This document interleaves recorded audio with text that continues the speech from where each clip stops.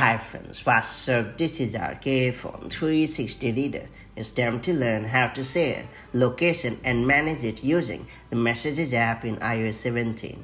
Apple Messages app has made it incredibly simple to share and manage your location in iOS 17. Hence, you can share your live location with your friends and loved ones and also fine tune it with better control. That said, let me show you how it works.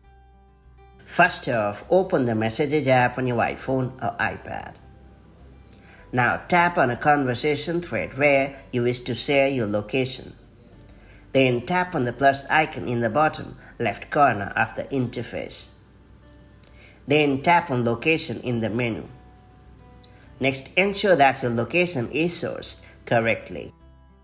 Next up, tap on the share once you are ready to share your location. Next up, tap and choose one of the choices depending on how long you wish to share your location with your friend.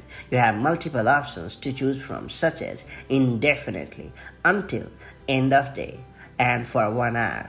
The location will now be added to the message. You can also add any text to your message as needed and then tap on the send icon once you are done. And that's all there is to it. You have shared your location with a concerned contact for the specified duration.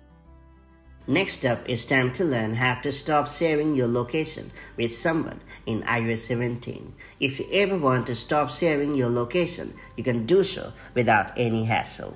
Simply open the Messages app on your iPhone. Then tap on the conversation where you wish to stop sharing your location. Now scroll down and find the message where you have shared a location with a contact. Then tap on the message once found. Now tap on stop sharing my location at the bottom and you are done. That's all there is to it. So that's how you can share and manage your location using Apple Messages app on your iPhone and iPad. If you found this video helpful, do like and share it and I'll see you in the next video with more such handy tips and tricks. Till then, stay safe and have a. Bye-bye.